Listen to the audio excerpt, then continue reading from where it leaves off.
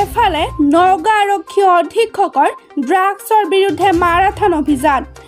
আনফালে মৰিগাঁও জিলাৰ দাঁতি কাষৰীয়া মৈৰাবাৰী অঞ্চলৰ ৰাইজৰ আদালতত চূড়ান্ত শাস্তি প্ৰদান এজাক ড্ৰাগছ আসক্তক নীৰৱ আৰক্ষী প্ৰশাসন। যোৱা দুটা বছৰত মৰিগাঁৱত অভাৱনীয় হাৰত বৃদ্ধি পালে ড্ৰাগছৰ সৰবৰাহ। আৰক্ষী অধীক্ষক আৰু জিলাখনৰ শীৰ্ষ আৰক্ষী বিষয়াৰ আঙুলিত ধৰি একাংশ বৃহৎ ড্ৰাগছ মাফিয়াৰ খোপনি পতিছিল মৰিগাঁৱত।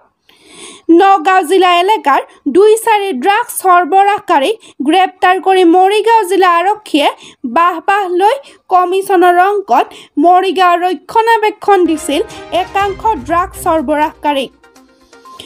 থানাৰ পৰা হৈছিল লাখ লাখ টকা মাহেকীয়া কালেকশ্যন। ড্ৰাগছ আসক্তই ড্ৰাগছ ক্ৰয়ৰ বাবে লৈছে চৌৰ্যবৃত্তি। বাহিৰত পৰি থকা বস্তুৰ কথা বাদেই।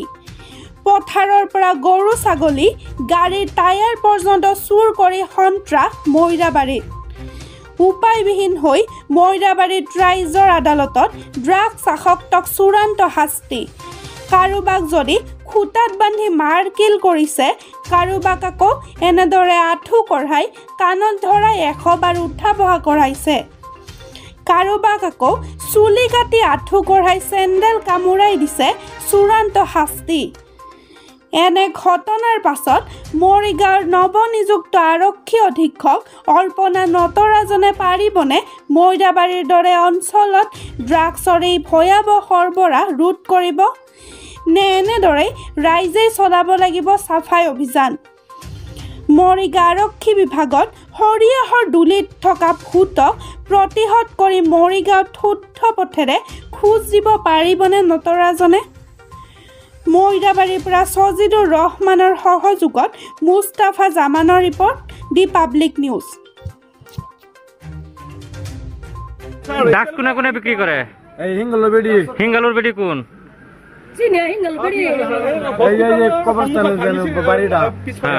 আর খাবলা জিলদারে আর এই যে মরে ইয়াতে কি ডাক বিক্ৰী কৰে?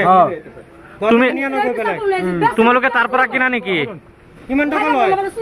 এটা সিরিজত কিমান টকা লয়? 500 দিয়া।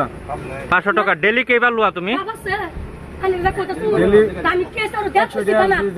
মানে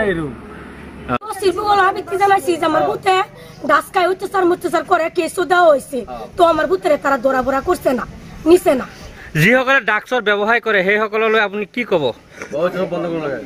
সব ডাস খাওয়া যে যারা যারা ডাক্স বেছে তারা তারা বন্ধ করুন লাগবো। বন্ধ করলে তে খাওয়াইয়া বদ্ধ হইব আপুনি জনাত কোনে কোনে কৰে ড্ৰাগছ হিঙ্গালু বউ বেছে আবার এই যে ইয়ার এই যে ইয়ার সেরা বেছে দিদা। দিদার উলে বেছে আবার এই যে ইয়া ই দিলদারে বেছে দিলদার আর গহুরের সেরা বেছে আমার সাহেব কইতাছি ও সিস্টারে যে দে- দে এই দেশটা বালা করুক।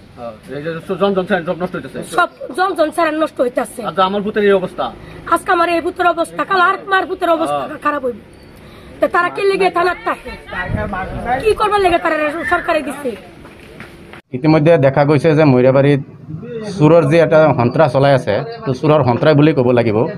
আৰু এই এই চোৰৰ সন্ত্ৰাসটো বিশেষকৈ এটা কাৰণতেই বেছিকৈ হৈ আছে। যিহেতু মৈৰাবাৰী অঞ্চলত নিচাজাতীয় যি দ্ৰব্য ইয়াৰ প্ৰচলন খুব বাঢ়ি গৈছে। সঘনাই সৰু সৰু ল'ৰা এইবিলাকে ড্ৰাগছ সেৱন কৰি পেলাই ড্ৰাগছ সেৱন কৰে যেতিয়া নেকি হাতত টকা নাথাকে তেতিয়া বিভিন্ন সময়ত গৈ বিভিন্ন দোকানত ত'ত চুৰি কৰে। কেতিয়াবা গাড়ীৰ টায়াৰ চুৰি কৰি পেলাই কেতিয়াবা কাৰোবাৰ দোকানত গৈ পেলাই দৰ্জা ভাঙি সোমাই দিয়ে। তাৰ এটা মূল এটা কাৰণেই হৈছে যে মৈৰাবাৰীত নিচাজাতীয় দ্ৰব্যৰ প্ৰকোপটো বাঢ়ি গৈছে আৰু ইয়াৰ ফলতেই এই নিচা সেৱন কৰি পেলাই এই চোৰৰ সন্ত্ৰাসটো বাঢ়িছে।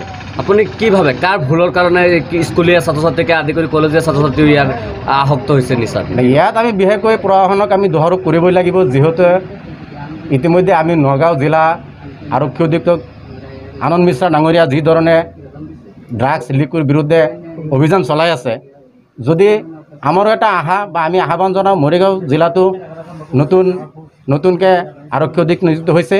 তেখেতে যদি ইচ্ছা কৰে নিশ্চয় এইবিলাকৰ গাঁতি উৎখাত কৰিব লাগিব যেতিয়ালৈকে নেকি লিকুইড ড্ৰাগছ মদ এইবিলাকৰ গাঁতি উচ্ছেদ নকৰে তেতিয়ালৈকে এই চোৰৰ সন্ত্ৰাস চলিয়েই থাকিব.